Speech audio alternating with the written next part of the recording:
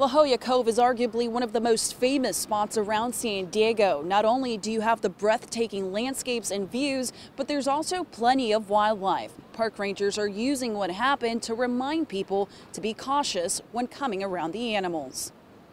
Other folks, once again, just please uh, make sure you maintain that distance from the wildlife. Lifeguards at La Jolla Cove are not just keeping a watchful eye on swimmers, but those on the beach as well, including seals and sea lions.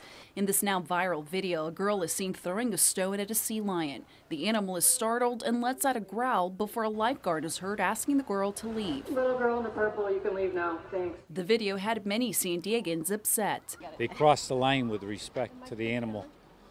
They're not here for us they're just chilling. They're just sleeping and eating. And if you come out here and throw rocks at them, it's just it's just rude. Yeah. It's a rude thing to do.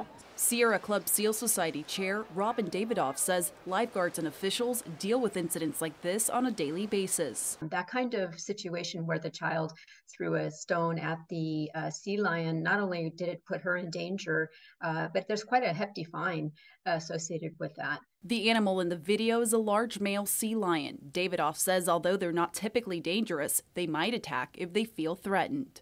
Well, certainly he was startled, and that is a large male. He's probably about 800 pounds. He could have gotten up and ch- charged at the little girl. He could have bitten her and thrown her across the beach. I mean, they're very strong. She and park rangers are warning visitors to watch and admire the animals from a safe distance. Always leave a path to and from the water uh, instead of surrounding them. In this other viral video from last summer, people were seen running away from sea lions. Experts say the sea lions weren't chasing people, but rather themselves during mating season.